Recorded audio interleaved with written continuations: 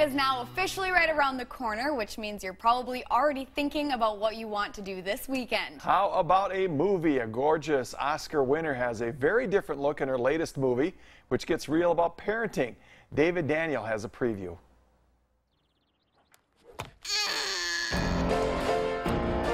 Writer Diablo Cody and director Jason Reitman reteam with their young adult star Charlize Theron for Tully, a look at exhausted modern motherhood. Hey, frozen pizza, awesome. The role came along at an all too appropriate time for Theron. My second kid was only around seven months old, and so I was just coming out of that place where you're just so sleep deprived. Do you know what a night nanny is? They take care of the baby at night so mom and dad can get some sleep. I don't want a stranger in my house.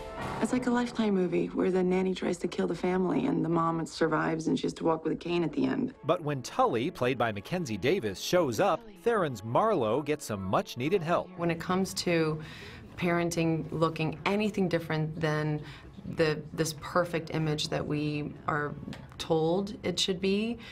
Mm, it's so strange to me that we can't be honest about how difficult that sometimes is. You seem like a great mom. Great moms organize class parties and casino night. They bake cupcakes that look like minions. All the things I'm just too tired to do. Honestly, even getting dressed just feels exhausting. I open my closet and I just think, didn't I just do this? In Tully, Marlo finds not just a nanny, but a friend. I think there's something very unifying and just not feeling like you're going through something alone. You're empty. Yeah. No, you're empty on this side. In Hollywood, I'm David Daniel. Actually looks pretty good. Too bad It it's does. on a weekend with some nice weather. I've read Right. some good things about it, so Yeah, I'm curious to see where it kind of goes and takes off to. Yeah. All right, well, not in the mood for a good movie. Our associate producer Kayla Dorhout is here to tell us more about some events you may want to add to your calendar this weekend. I'm back, yep. She's back. Did you get a, it's did a you Friday get a cookie tradition. yet? Yeah, I haven't. I can't All eat right. one on screen because All then. I'll have just Little Oreos. black on. We'll get, we'll get you a cookie before the end of the show. All right. Well, I do have a few events to tell you about if you're still looking for something to do this weekend. Here's one for the whole family. It's time for the big event.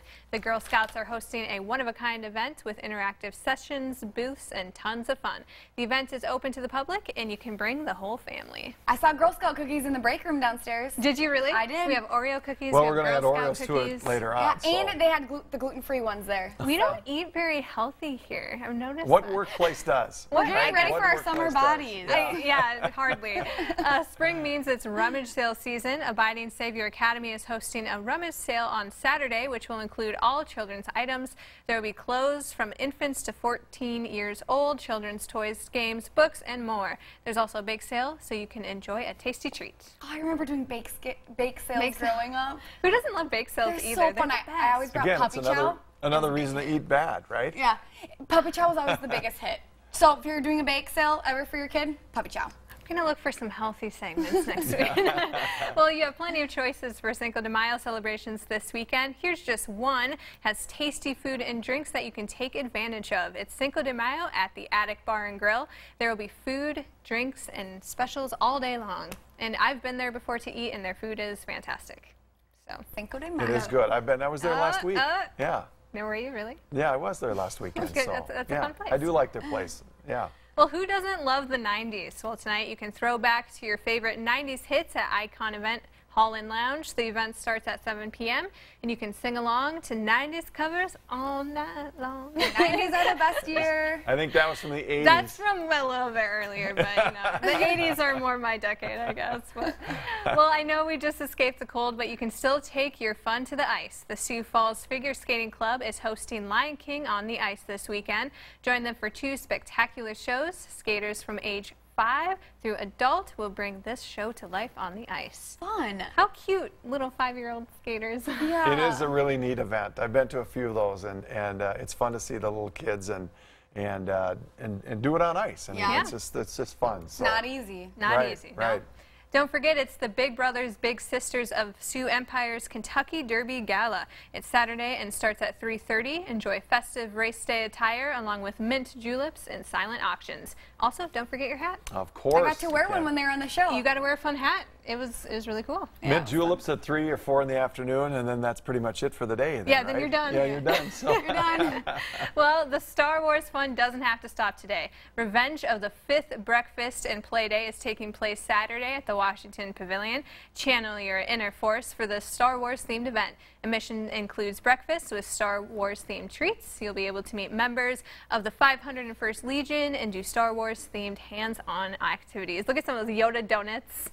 Yoda. I don't know if Bantha Blue. I feel like my director would know what this stands Bantha for. blue but milk and some- on it. Yeah. So sounds Yoda really fun. donuts. Hmm. Yoda. Yoda.